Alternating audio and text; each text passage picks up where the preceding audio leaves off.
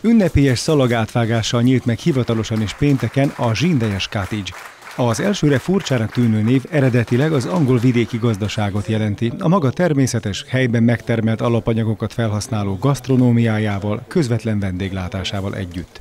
A zsindejes pálinka főzde mögött álló két család, a Kecskés és a Pap família ezen elvek mentén szeretné működtetni az új fogadót és esküvői helyszínt.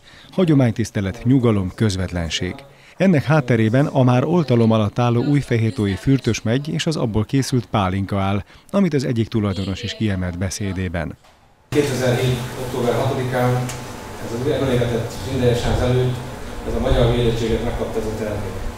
Majd 2014-ben megkapta az Európai Uniós védettséget, és talán nem véletlen, sőt biztos vagyok hogy nem véletlen, ezért január 22-én, február 22-én Székesfehérváron az újfélhető megynek a gyümölcsnek a nemzeti oldalmáról szóló okiratot, dr. Nagy István adta akkor parlamenti államtitkárként.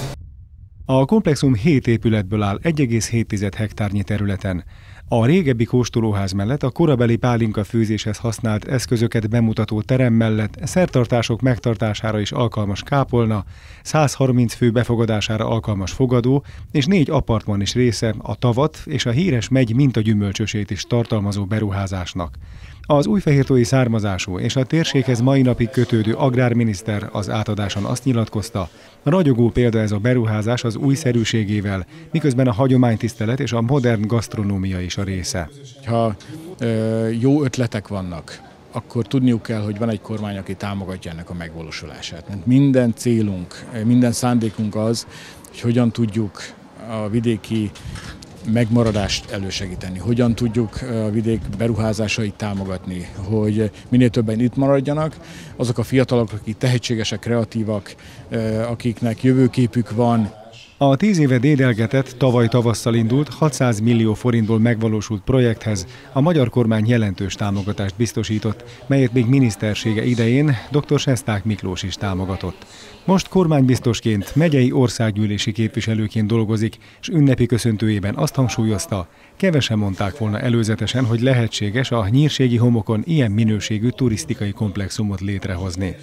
Mi pontosan tudjuk, itt akik itt élünk, hogy sokszor dobálózunk azzal, hogy lehetetlen, és vannak családok, és azt gondolom, hogy a pap és a kecskés család pont ilyen, aki bebizonyította nekünk, az itt élőknek, itt a szabolcsiaknak, az oly sokszor lesajnált szabolcsiaknak, hogy igen, ezt meg lehet csinálni. Az ünnepélyes megnyitón elhangzott, a Zsindejes Cottage turisztikai komplexumként fog üzemelni, amely a maga egyszerűségével és alapvető értékeivel igyekszik kedves emlékeket szerezni az ide látogatóknak. Legyen szó esküvőről, baráti társaságról, gasztronómia és pálinka iránt érdeklődő vendégekről.